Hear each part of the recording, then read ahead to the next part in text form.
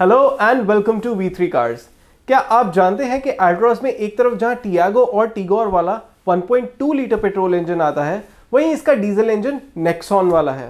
फिर भी इसके पेट्रोल और डीजल इंजन में सिर्फ़ 4 पीएस का ही पावर डिफरेंस है। लेकिन ये डीजल इंजन 87 न्यूटन मीटर ज़्यादा टॉक प्रोड्यूस करता है और वो भी कम आरपीएम पे।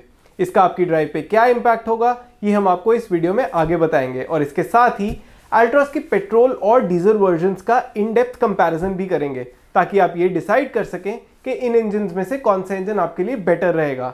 इस कंपैरिजन को स्टार्ट करते हैं इन दोनों कार्स के प्राइसेस से। लेकिन इससे पहले हमारी लेटेस्ट वीडियोस देखने के लिए V3 कार्स को सब्सक्राइब करना और बेल आइकन को क्लिक करना ना भूलें।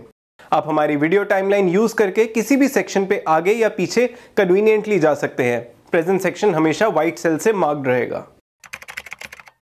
अगर हम टाटा अल्ट्रॉस के सभी वेरिएंट्स और फीचर पैक्स के कॉम्बिनेशन को देखें तो इसे आप 11 वेरिएंट्स में ले सकते हैं, दोनों पेट्रोल और डीजल इंजन के साथ। इन सभी वेरिएंट्स के प्राइसेस अभी आपकी स्क्रीन पर हैं और जैसा आप देख रहे हैं XE और XE रिदम के केस में पेट्रोल और डीजल अल्ट्रॉस में 1.7 लाख का डिफरेंस है, लेकिन बाकी सभी वेरिएंट्स में 1.6 लाख का कांस्टेंट डिफरेंस है।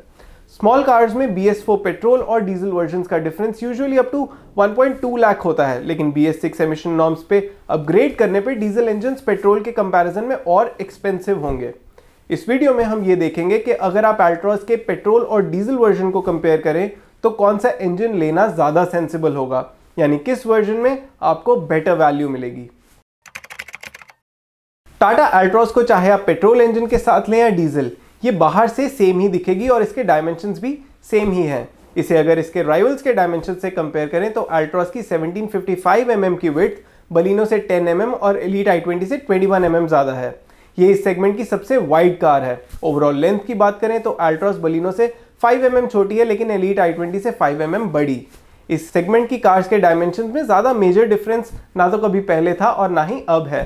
अल्ट्रॉस हाइट के मामले में जैज से 21 mm mm छोटी है, लेकिन बलिनो और एलीट आई ट्वेंटी से 13 और 18 mm बड़ी। व्हील बेस जो लेग स्पेस पे एक बड़ा इम्पैक्ट डालता है, अल्ट्रॉस में वो बलिनो से 19 mm कम है। इनफैक्ट, अल्ट्रॉस का wheel base Elite I twenty के व्हील बेस से 69 mm छोटा है। अब ये देखना बाकी है कि टाटा ने अल्ट्रॉस की इंटीरियर स्पेस कैसे मैनेज की है। क्या अल्ट्रॉस, बलिनो और एलीट आई ट्वेंटी से ज़्यादा स्पेशियस होगी? इसका पता तो हम तभी कर पाएँगे जब हम इसके इंटीरियर डायमेंशंस मेजर कर लेंगे। अभी के लिए ये कहना ठीक होगा कि अल्ट्रॉस का साइज़ बलिनो और एलीट आई ट्वेंटी के साइज़ से कंपेरेबल है। बूट स्पेस और फ्यूल टैंक की बात करें तो इस सेगमेंट में सबसे बड़ा बूट और फ्यूल टैंक आपको होंडा जैज में मिलेगा। लेकिन बाकी डायमेंशंस की तरह ही ये भी इसके राइवल से कंपेरेबल ही है। चलिए, अब अल्ट्रॉस के वेरिएंट्स एंड फीचर्स चेक कर लेते हैं। अगर आप स्टाइल पैक्स को ना कंसिडर करें तो अल्ट्रॉस पाँच वेरिएंट्स में आती है। X E T X Z and XZ optional चाहे आप डीजल अल्ट्रॉस कंसिडर करें या पेट्रोल इन सभी वेरिएंट्स में सेम ही फीचर्स आते हैं। अगर आप अल्ट्रॉस की वेरिएंट वाइज फीचर्स की डिटेल्स में जाना चाहते हैं तो आप हमारी Altroz petrol variants explain video देख सकते हैं। इसका लिंक हमने इस वीडियो के डिस्क्रिप्शन में डाल दिया है। अभी आप टेबल में अल्ट्रॉस के एक्स ई वेरियंट के फीचर्स देख रहे हैं। अब एक्स एम वेरियंट में एक्स ई के ऊपर जो फीचर्स आते हैं, वो देख रहे हैं। अब एक्स टी के अब एक्स जेड के और अब एक्स जेड ऑप्शनल के। इन फीचर्स को ध्यान से देखने के लिए आप वीडियो पॉज कर सकते हैं या टाइमलाइन यूज़ करके वेरिएंट सेक्शन में आके बाद में भी देख सकते हैं। बस डीजल अल्ट्रॉस के केस में X T XZ and XZ optional में आइडल स्टार्ट स्टॉप का ऑप्शन नहीं मिलता जो पेट्रोल में आता है। ये फीचर कार की फ्यूल एफिशिएंसी इंप्रूव करने में हेल्प करता है। जब आप गाड़ी को रोक के न्यूट्रल में डाल देते हैं तो idle start stop feature engine off कर देता है और क्लच दबाते ही इंजन वापस ऑन हो जाता है। इस प्रोसेस में आप कुछ फ्यूल सेव कर सकते हैं। हमने पेट्रोल अल्ट्रॉस के वेरिएंट्स को रिसेंटली एनालाइज किया है और हमारा ये कंक्लूजन है कि अल्ट्रॉस का एक्स जेड वेरियंट बेस्ट है in terms of the value it has to offer हमारा वर्ड एक डीजल अल्ट्रॉस के लिए भी सेम ही है, क्योंकि पेट्रोल और डीजल अल्ट्रॉस के केस में एक्स ई और एक्स एम वेरियंट को छोड़ के बाकी सभी वेरिएंट्स के बीच का प्राइस डिफरेंस कंसिस्टेंट है। जहाँ पेट्रोल इंजन के केस में एक्स ई और एक्स एम वेरियंट्स के बीच का price difference eighty six thousand rupees का है। वहीं डीजल के केस में इन दोनों वेरिएंट्स का डिफरेंस सेवेंटी सिक्स थाउज़ेंड है।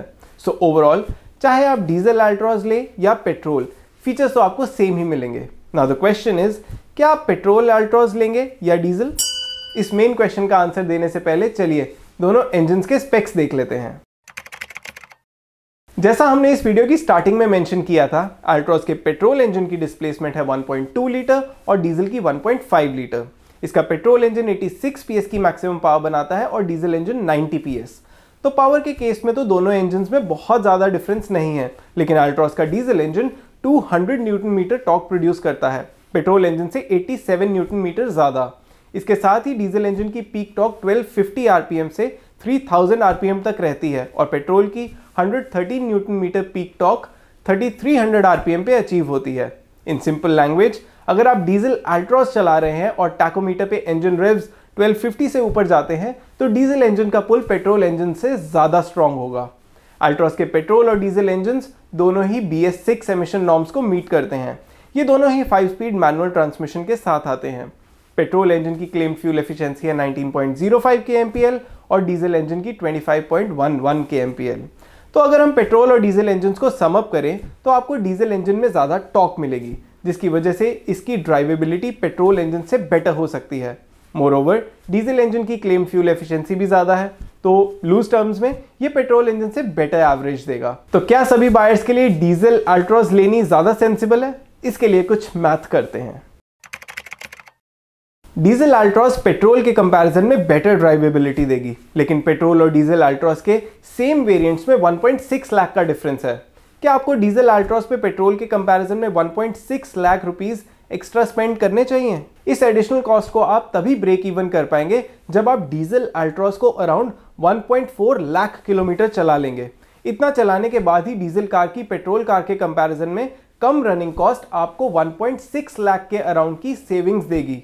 यानी अगर आप daily on an average 100 kilometre car चलाते हैं तो डीजल कार चलाने के लिए जो एक्स्ट्रा 1.6 लाख लगाए हैं, वो चार साल में वसूल हो जाएँगे। अगर आपकी average running 50 kilometre per day है तो डीजल पे स्पेंड किया 1.6 लाख आठ साल में रिकवर होगा। क्या आपकी कार रेगुलरली इतनी चलती है? अगर नहीं तो आपको पेट्रोल अल्ट्रॉज लेनी चाहिए, डीजल नहीं। इस कैलकुलेशन के लिए हमने पेट्रोल और डीजल अल्ट्रॉज की क्लेम्ड फ्यूल एफिशिएंसी कंसिडर की है।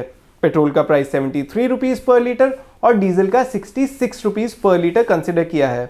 ये एक बेसिक कैलकुलेशन है, क्योंकि इसमें सर्विसिंग कॉस्ट सेकेंड और थर्ड ईयर का इंश्योरेंस प्रीमियम और लोन ईएमआई डिफरेंस जैसे फैक्टर्स कंसिडर नहीं किए, और ये सभी डीजल के केस में ज़्यादा होंगे। अगर आप सोच रहे हैं कि डीजल अल्ट्रॉस का लो वेरिएंट ले लेंगे, यानी एक्स टी पेट्रोल की जगह एक्स ई डीजल या एक्स जेड अर्बन पेट्रोल की जगह एक्स एम डीजल तो आप फीचर्स पे मेजर कॉम्प्रोमाइज करेंगे। तो ये था अल्ट्रॉस पेट्रोल और डीजल का कंपैरिजन जिसके बाद हमें आपको ये क्लियरली बताया कि आपकी कितनी एवरेज रनिंग होनी चाहिए कि आप डीजल अल्ट्रॉस लें और पेट्रोल नहीं। वी होप इस वीडियो को देखने के बाद आप अपनी कार परचेज कुछ ईजी कर पाए होंगे।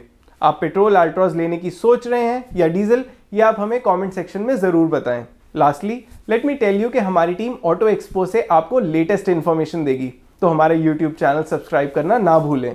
Thanks for watching for more details आप हमारी वेबसाइट www.v3cars.com पे भी जा सकते हैं, या हमें फेसबुक और इंस्टा पे फॉलो करें।